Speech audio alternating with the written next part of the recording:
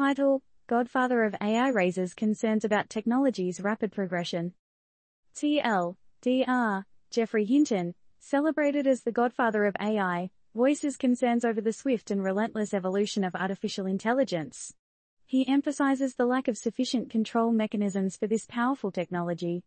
He expressed these concerns in a recent conversation with NPR technology correspondent, Bobby Allyn. Body.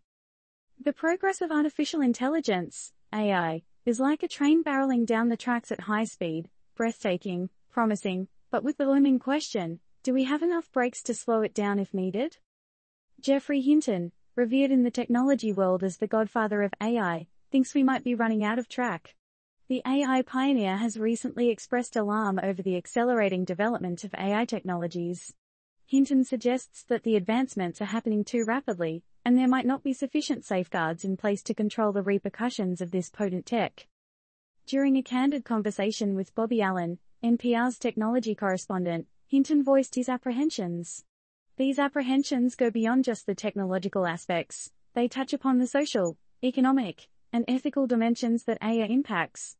As AI continues to weave itself deeper into the fabric of our lives, the concerns brought up by Hinton raise the question, are we doing enough to understand and regulate it? In the age of digital acceleration, we must ask ourselves, are we responsibly managing the balance between innovation and regulation?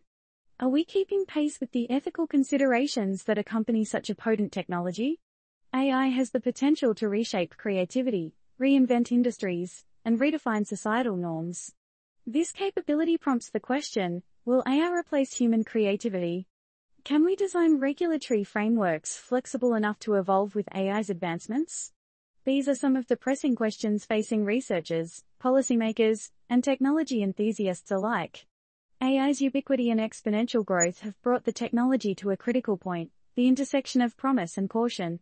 The narrative of AI's evolution should not just be about its power and potential, but also about the ability to understand, regulate, and effectively control it. As we look ahead into an increasingly AI-driven future, the questions raised by Hinton echo in our ears. Do we have sufficient guardrails for this fast advancing technology?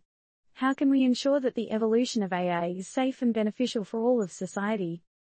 First seen at Boise State Public Radio.